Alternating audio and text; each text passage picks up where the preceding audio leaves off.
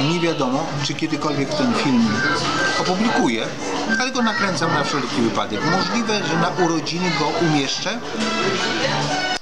Jeszcze tego nie wiem. W każdym razie, jest to dzisiaj niezwykły dzień, niezwykła chwila, niezwykłe święta Bożego Narodzenia, gdzie zdecydowałem się pod choinkę dać Wam, drodzy Panowie, pewną informację, którą na szczęście tylko nieliczni zrozumieją. Ale będą tacy, którzy ją zrozumieją. Mamy nadzieję, że jeszcze zanim dotrwają do emerytury, zrozumieją i skorzystają. Więc chcę Wam, drodzy Panowie, drodzy kandydaci na, na prawdziwych mężczyzn, chcę Wam powiedzieć, że kobieta potrzebuje nagrody. Kobieta, podobnie jak mały szczeniaczek, potrzebuje nagrody. Kobieta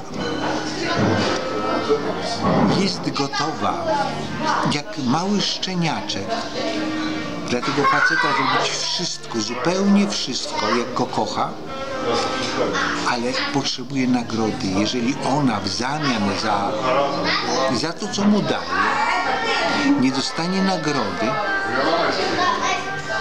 to facet stracił możliwość po pierwsze poznania duszy kobiety, a po drugie stracił możliwość stania się prawdziwym mężczyzną.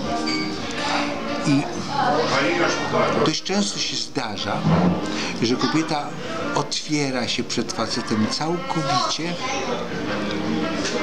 a wtedy ten facet z wdzięczności gotów jest tej kobiecie